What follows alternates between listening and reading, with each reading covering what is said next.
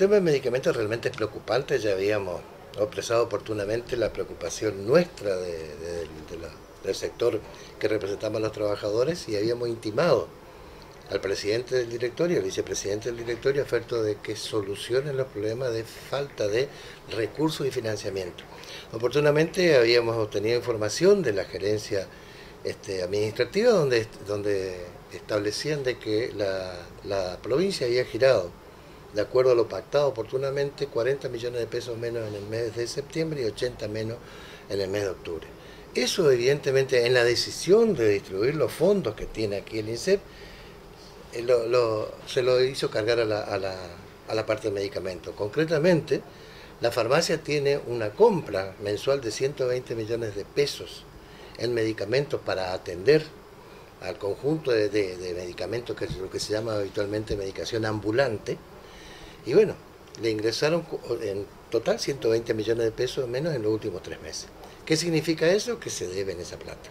Las licitaciones estaban hechas, estaban adjudicadas y eso se debe en inicio. Después se hizo otra licitación en el medio, en el mes de octubre, por la cual, este, por los casi alrededor de 63 millones de pesos, de las cuales ante la situación sí hay que marcar de inestabilidad que existía en el momento y el valor dólar, que la mayoría de los medicamentos que este, son drogas especialmente contra HIV, drogas para el tratamiento de cáncer, son drogas importadas.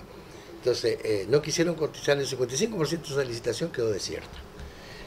Y en general la deuda que venimos de arrastre con el sistema de proveedores nuestros son casi 230 millones de pesos, estamos adeudando al mes de, al 6 del 11 del 2019.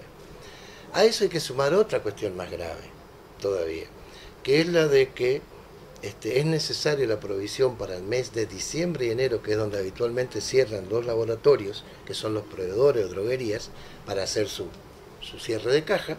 Y habitualmente acá ya se sabe la experiencia que en ese momento, en ese, durante ese periodo no te proveen de medicamentos. Entonces, este, es necesario hacer una licitación por 232 millones de pesos.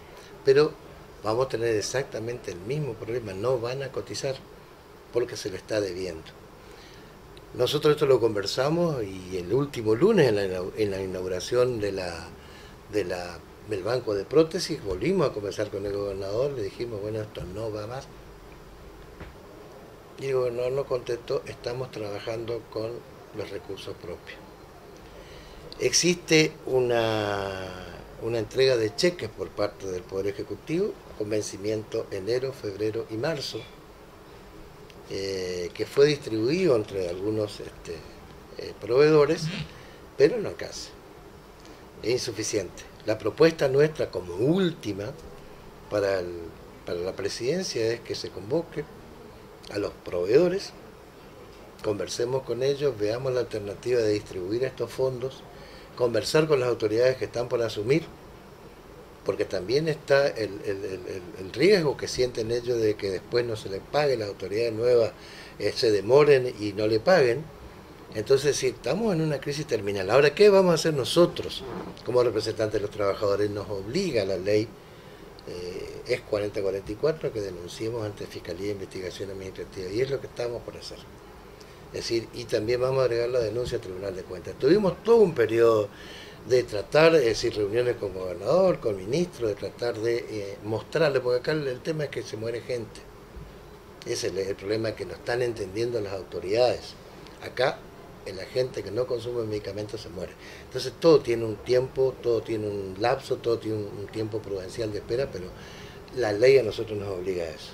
Decir, vamos a hacer la denuncia ante, ante la Fiscalía de Investigaciones Administrativas, como nos obliga la ley, y también vamos a hacer la denuncia porque tampoco se avanzó en el tema del seguro. Los seguros se adeudan, hay eh, este, una, apropiación indebida en los fondos de los trabajadores, eso también lo vamos a denunciar. Y nosotros tenemos que hacerlo porque la ley nos obliga y si no termina siendo siendo cómplices.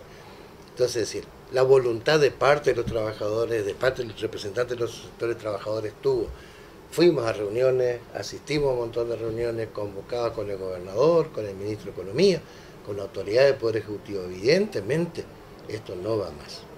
Entonces, es decir, nosotros esto, para que sepan los afiliados nuestros, no nos quedamos quietos nunca, nos preocupa notablemente la situación, pero esto nos está eh, avasallando. Y acá hay de por medio vida, y eso es lo grave de todo esto. Nosotros como representantes de los afiliados hemos eh, eh, intimado ya a la presidencia, como lo bien dijo, al directorio en su conjunto para ver qué trámites se estaban llevando a cabo para solucionar esto. Y al contrario, vemos que no hay ni una señal eh, y ahora lo único que nos queda es bueno ratificar lo que eh, acaba de decir el vocal, que vamos a denunciar a los órganos, porque a, simple vista acá tendría, se estaría dando un desvío de fondos porque no se pasan los fondos eh, para la compra de los medicamentos. Nosotros todos los días tenemos en la oficina gente que viene llorando, o sea, me estoy muriendo hermano y no me proveen el medicamento. Eso es caótico, eh, hay que ponerse en el lugar del afiliado, de la gente. Eh, estamos muy preocupados, no nos quedamos, seguimos tramitando, eh, desde más allá de que nosotros no tenemos la administración, pero nuestra responsabilidad no la vamos a eludir como directorio. Estamos haciendo todo lo, posible para ver si se puede solucionar, más aún teniendo en cuenta que estamos a un paso de entrar en un receso judicial, que bien, sabe que, bien sabemos que esto se paraliza todo hasta febrero. Así que esperemos lograr eh, una respuesta para que los afiliados que, y más a los oncológicos llegue, tengan una respuesta que, para paliar su situación.